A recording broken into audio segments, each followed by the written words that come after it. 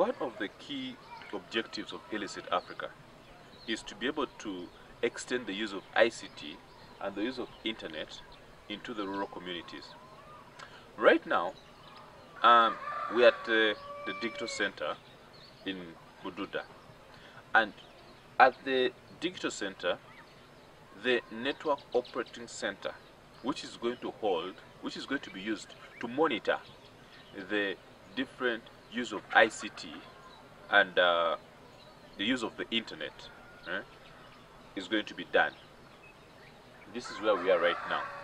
And we are looking at setting uh, three nodes to pilot how can internet be adopted within the rural areas with focuses on Bududa.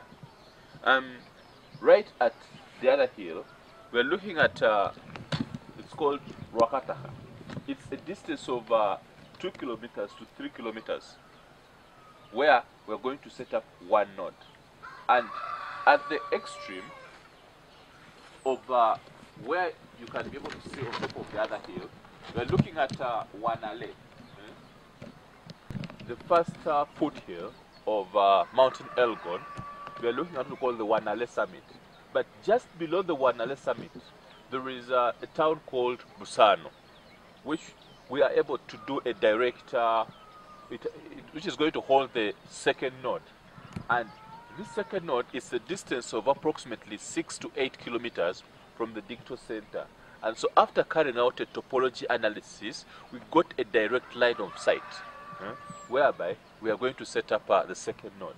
And in the valley, we are having another town called uh, Bukari, which is going to hold what we call the node 3 of the proje- of Project Thread. Node 3 is going to help uh, the youths in that area such that they don't have to move a long distance to come to the to the digital center or to the learning center to be able to access some of the ICT facilities.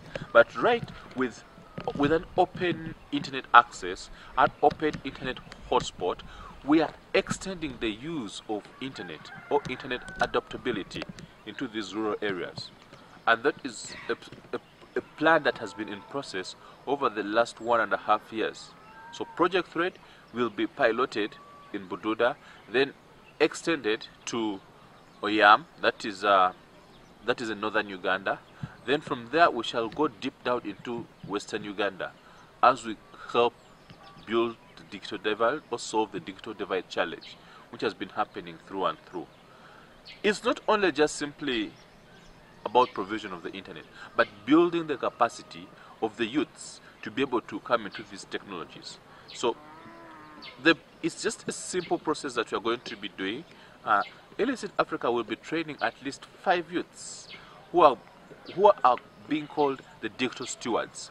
So these digital stewards are the ones who will be responsible for managing the network. It's not an ILICIT Africa network, it is a community network.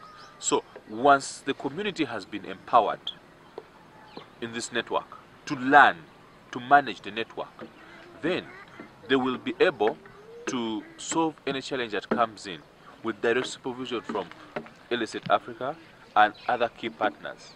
And uh, we are also including what we call uh, the digital research on how, what are these technologies that the, the youths or the indigenous people are going to begin adopting through, and we shall be publishing reports um, quarterly and uh, yearly eh, of what has been transpired about the use of the internet. This is something that has been planned, critically analyzed, and we're looking at achieving tremendous milestones. Yeah.